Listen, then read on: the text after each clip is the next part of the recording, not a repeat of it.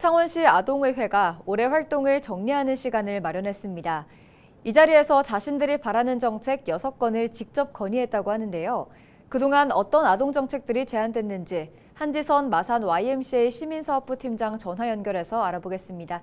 팀장님 안녕하세요.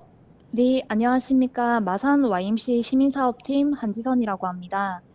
네, 반갑습니다. 먼저 창원시 아동의회란 무엇인지 설명 부탁드리겠습니다. 창원시가 2021년 12월에 유니세프에서 지정하는 아동 친화 도시로 선정되었습니다. 어, 이후 아동 친화 도시 조성에 관한 조례가 개정되었고요. 그 개정을 통해서 올해 창원시 아동의회가 처음으로 발대를 하게 되었습니다.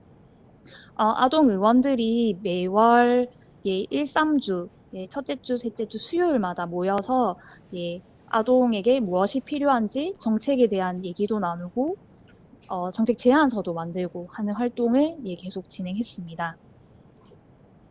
네, 지난 22일 아동과 청소년들이 낸 안건들을 발표하는 장이 열렸습니다. 이날 어떤 정책들이 제안됐나요? 예, 지난 5월의 발대식 이후에 저희가 11번의 모임을 통해서 그 창원시 아동을 위한 정책 세 가지를 만들었고요. 지난 10월에 본회의를 통해서 예, 총 3개의 안건이 예, 공유되었습니다. 어, 저희 평등과 존중위원회에서는 더 많은 아동이 함께하는 창원시 아동 토론회 개최, 그리고 교육환경위원회에서는 악기 대여와 수업을 지원하는 배움 공간 조성 정책, 그리고 안전과 복지위원회에서는 아동이 그리고 전시하는 자유로운 미술 체험관 운영 총 3개의 안건을 예, 만들고 공유했습니다. 네, 마지막으로 창원시 아동의회 올해가 끝이 아니죠. 앞으로 활동 계획이 있으시다면요?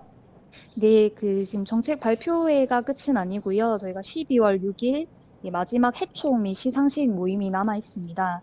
어, 그리고 내년에도 이제 연임을 하는 의원분도 있고요. 또 내년에 공개 모집을 통해서 어, 이런 창원시 아동을 위한 정책을 개발하는 활동을 이어나갈 예정입니다. 네, 아동의회에서 마련된 정책들이 실제 정책들로 이어지기를 바라겠습니다. 여기까지 듣겠습니다. 지금까지 한지선 팀장과 창원시 아동의회 소식 알아봤습니다.